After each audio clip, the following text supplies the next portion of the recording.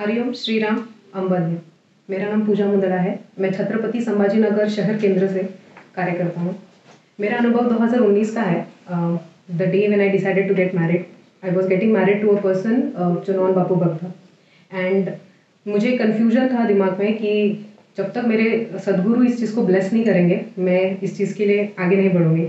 सो so, मैंने मेरे parents को बताया एंड उन्होंने उनके पेरेंट्स को बताया। घर में सब कुछ सबको पता चला। उसके बाद में भी डिसाइडेड कि हम बापू के पास जाएँगे प्रवचन में। तो मेरी जो आंटी है अनीता उमराड़कर और मेरे अंकल डॉक्टर रमन उमराड़कर इन लोगों को हमने बताया कि हम मुंबई आ रहे हैं एक थर्सडे बापू का आशीर्वाद लेने। एंड देन हम उपासना अपना प्रवचन में पहुँचे एंड देन वहाँ पर बापू का प्रवचन हमने सुना। उसके बाद में दर्शन की लाइन शुरू हुई। दर्शन की लाइन में मैं, मेरे हस्बैंड होने वाले जो थे तभी तब हम दोनों चल रहे थे और हमारे गैप में मेरे पेरेंट्स खड़े थे पीछे। तो द टाइम जैसे दर्शन शुरू हुआ, लाइन आया एंड देन बापू के सामने हम आए बापू ने हम दोनों को ब्लेस किया। और उसके बाद में जो पूरा दर्शन होने के बाद जो पीछे एक दर्शन मिलता है, हम उस उस लाइन में खड़े हो गए। तो चार फैमिलीज़ थी, हमारे पहले तीन फैमिलीज़ और थी, उनका दर्शन हुआ। एंड उसके बाद हमारा नंबर आया। तो the way we were standing was मेरी मॉम मेरे डैड मेरा भाई पीछे आंटी अंकल मेरा हस्बैंड मेरे बाजू में और मैं सबसे आखिरी में खड़ी थी। तो बापू जैसे आए उनके साथ में जैसे, जो थे उन्होंने इंट्रोड्यूस किया कि she is Pooja Mundada and she wants to get married to doctor Pritam.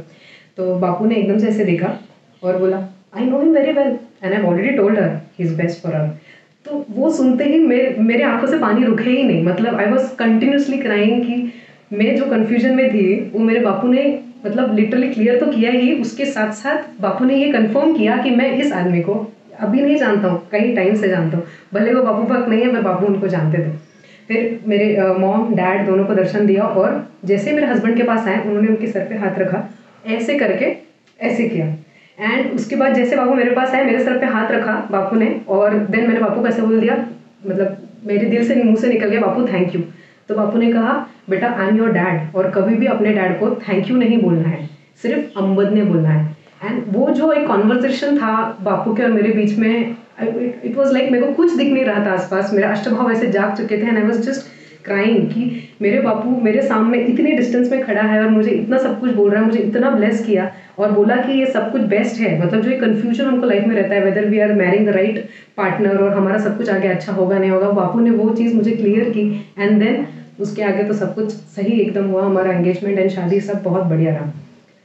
Hariom Shri Ram अम्बल अम्बद